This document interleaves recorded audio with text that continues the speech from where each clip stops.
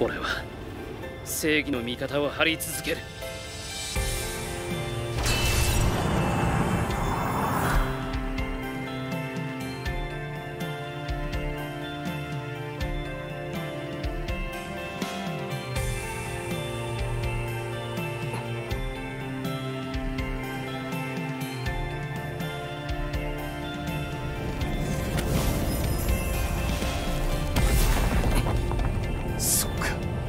彼女のさや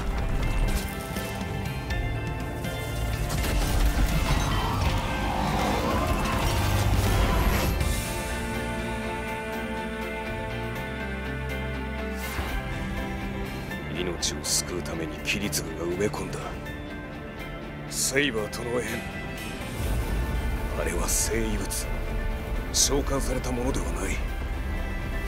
契約が切れてもその守護は続いている。体は貴様。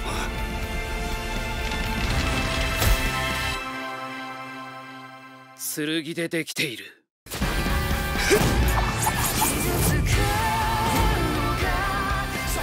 お前には負けられない